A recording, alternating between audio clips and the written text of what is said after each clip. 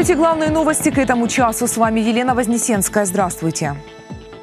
Трое украинских военнослужащих получили ранения за минувшие сутки на Донбассе. 29 обстрелов со стороны российских оккупантов зафиксировали в штабе операции Объединенных сил, в том числе и запрещенного Минскими договоренностями вооружения. В частности, под огнем из тяжелых минометов оказались защитники Гнутова. Украинские позиции в районе Павлополя боевики обстреляли противотанковыми управляемыми ракетами. В районе Красногоровки проявляла активность снайперская группа оккупационных подразделений подразделений. По данным украинской разведки, за минувшие сутки один боевик уничтожен, еще один был ранен. 200 миллионов долларов выделят в этом году Украине Соединенные Штаты Америки. Об этом сообщает посольство Украины в США. Деньги пойдут, в частности, на предоставление военной техники и снаряжения, другого оборудования и услуг военного назначения, а также логистического обеспечения и подготовку вооруженных сил Украины. Отмечается, в Министерстве обороны США уже начали процедуры заключения контрактов. В посольстве говорят, это решение Вашингтона – свидетельство неизменности позиции США США относительно поддержки Украины в противодействии российской агрессии. Более 80 украинских бойцов, получивших ранения и заболевания вследствие боевых действий, участвовали в отборочных соревнованиях для 43-го марафона морской пехоты США. Всего от Украины отберут 10 человек. В октябре в Вашингтоне с тысячами других марафонцев они будут участвовать в беге на дистанции 10 и 42 километра. 11-29. 25 6 кругов. Под номером 25 они бегут вдвоем. Волонтер Александр помогает незрячему тезке преодолеть дистанцию в 5 километров. Молодой лейтенант Александр Попруженко в 2015-м спас полтора десятка сослуживцев. Накрыл собой гранату, неудачно брошенную бойцом на учебном полигоне. Около сотни осколков все еще остаются в теле офицера. Несмотря на это, нашел силу участвовать в забеге. Каждая людина ставит себе Каждый человек ставит себе преграды, пока не преодолеет их у себя в голове. Мне это далось легко. Далось легко. Узнав об отборе на марафон морской пехоты США, Александр бросил клич на фейсбук-странице любителей бега. На помощь пришел его тезка. Неделю назад они познакомились и провели две тренировки. Оно дуже добре, когда стают люди. Очень хорошо, когда такие известные люди становятся примером того, кем может стать любой. Может быть. 12.33. Критерии отбора на марафон разные. Главный – быть участником боевых действий и иметь ранения. Вони повинні бути в нормальной физической форме. Они должны быть в хорошей физической форме, способными пробежать 10 и 42 километра. Они должны быть коммуникабельными, и в этом году будем понемногу подгонять критерии, как просили американцы, чтобы среди участников были те, кто может говорить по-английски. Кто размовляет английскую мову. Среди участников и наш коллега, боец Нацгвардии, а сейчас автор проекта «Инвиктус» на UATV Вадим Коробенко. Его спортивная стихия – вольная борьба, поэтому беговая дистанция далась непросто. Для меня это действительно был серьезный вызов, потому что я из единоборств, я из вольной борьбы, и бег на длинные дистанции – это ну, точно не мое.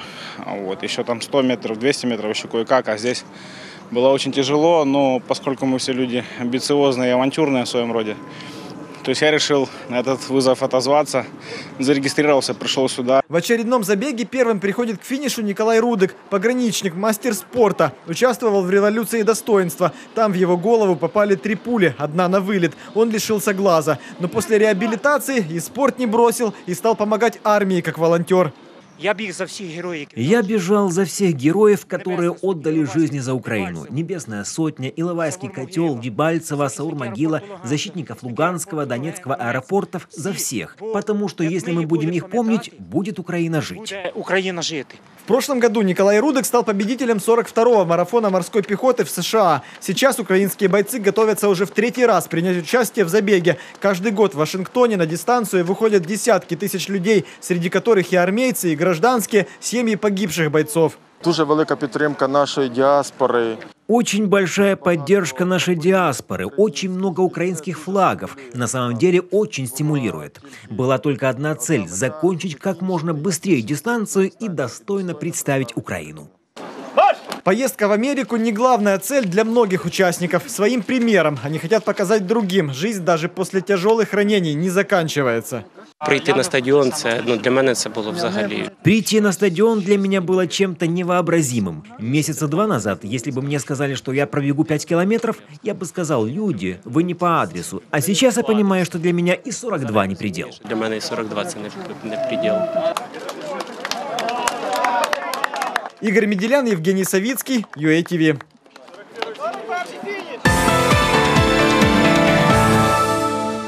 Восьмой международный турнир по художественной гимнастике «Империя юных талантов» проходит в Киеве с 19 по 21 июля.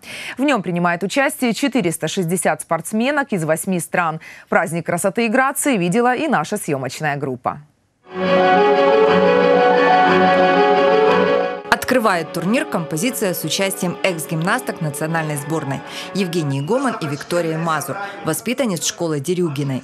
Их сменяют юные участницы соревнований. Самым младшим гимнасткам 4 года, но они уже покоряют зрителей спортивным мастерством, грацией и харизмой.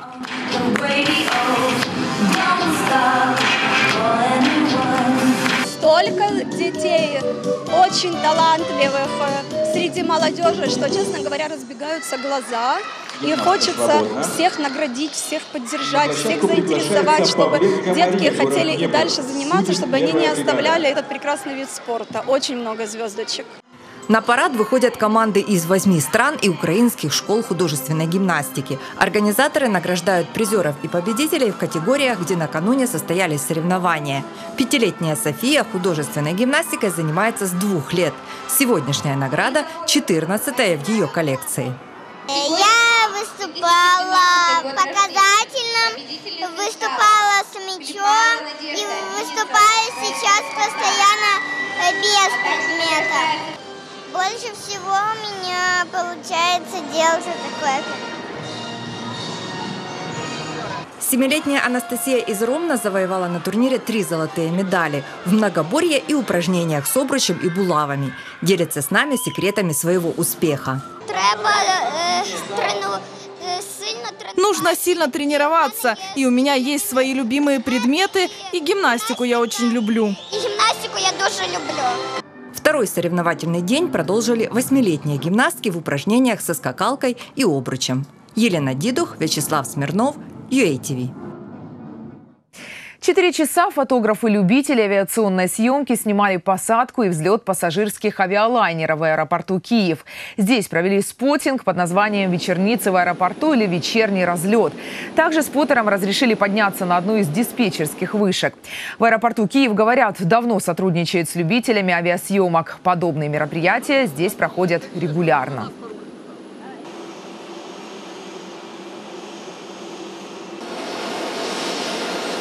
Это такое хобби, да, когда люди уже без этого жить не могут, как там без рыбалки и без охоты. Ну, такие фотографии, как делают ребята, конечно, еще поискать нужно таких фотографов. Тем более у них техника специальная и уже натренированная.